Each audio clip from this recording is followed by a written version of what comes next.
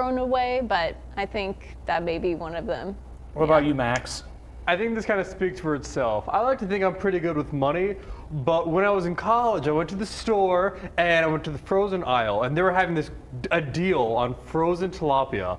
It was like this little squares of frozen tilapia, and it was like 69 cents for two pounds. So I said, that's too good to pass up. So I bought like 15 boxes of frozen tilapia. Shut up. And then I would just pop like the little frozen tilapia into the microwave. Oh, And I was living in like a 300 square foot studio apartment with my girlfriend. That lasted like a week, and she's like, "It smells like fish. You cannot eat these Oh anymore." Oh my God! What is oh, wrong with I you? didn't have an oven. You know, Mike. I will say that was a good deal, though. It was a great deal. Yeah.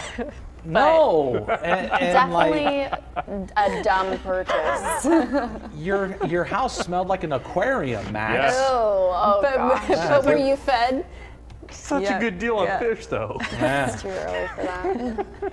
Yeah, the- I, I, I'm starting to learn more about you, Max. It is, it is a dark world. Our time right now is